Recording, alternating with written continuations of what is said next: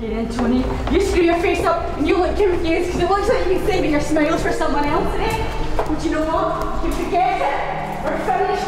I'm not your girlfriend anymore. Okay? But you know what? I just don't understand it. Used to be a time when you looked at me and only me. You used to not be able to stop touching me, and now for some strange reason you've completely changed. Let's turn this around for a second, eh? Let's say you found out that I was cheating. By some heat of the moment that I went with someone else, when you start screaming at me and shouting at me and calling me a slut and a bitch and a whore, God, I know you would. Well, do you know what? I do feel like I've cheated. I feel dirty and sick. I feel just as disgusting as you. Because I used to feel like we were one. We felt the same feelings. But you know what? You keep your cheating bed, okay? And you keep your cheating ways, and I hope you live a long and unhappy life because I'm off.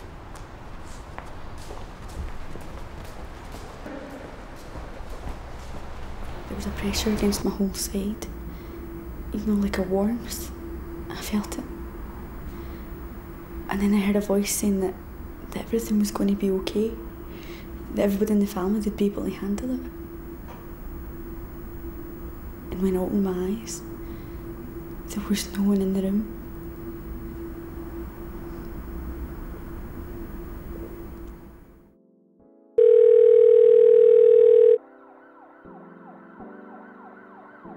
The realization, it hits me like a 44 Magnum smashing into my skull.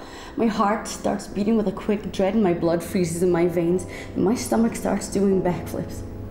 The ordeal I'm about to face is one of the most chilling, terrifying, grisly experiences known to woman. Dating? Or dating again? Oh God, no. Please don't make me do it. I'll be I'll be kind from now on, I promise. I'll I'll stop feeding the dog hash. I'll be kind, thoughtful, sober, God, anything. But please, not the ultimate torture of dating. I mean, that's why I stayed with him for so long, probably. I couldn't handle doing it all again. I mean, sure, he might be a trifle bit wild and, well, completely unattractive, but at least I knew I was gonna get late tonight. And maybe the next night.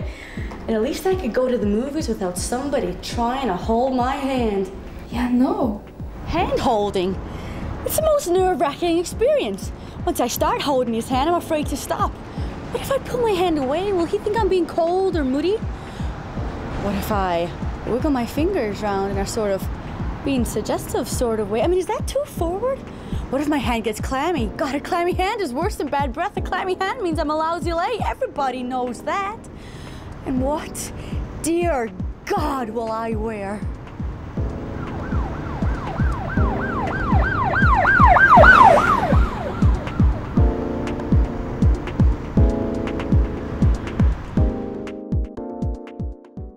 My youngest out in Erin's with me. And when I got home, I realised that she wasn't with me.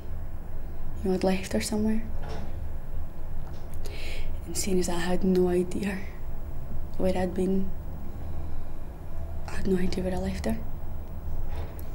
So I spent the next few hours on the phone calling every single store I'd ever been to until finally the tile guy rang me. I'd left my number on one of the checks I'd written him. You know, I rewarded him, of course, I never gone back to his store. My lowest point was 184 days ago when my little girl watched me chase aspirin down with vodka and then I hit her. And when I passed out, she was alone with me and she thought I was dead. In all my life, I will never know what that did to her. But I have to forgive myself for that. I have to forgive myself for what I've done to my family. You know, it's amazing how much you can hate yourself for being low and weak. And my husband couldn't save me from that, so I turned it on him and tried to empty it on him, but there was always more, you know? I told him that he made me feel small and worthless. But nobody makes you feel like that. You do that yourself. You know, I shut him out because I thought if he saw who I really was inside, then he wouldn't love me. Don't know why I do it. I just of takes it all away, you know. The deeper I go, the less pain I feel. I know that sounds stupid, but it's true.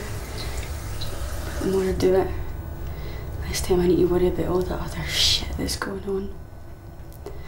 The more I need to worry about hiding these scars. You know, I remember the first time I did it. It was so painful.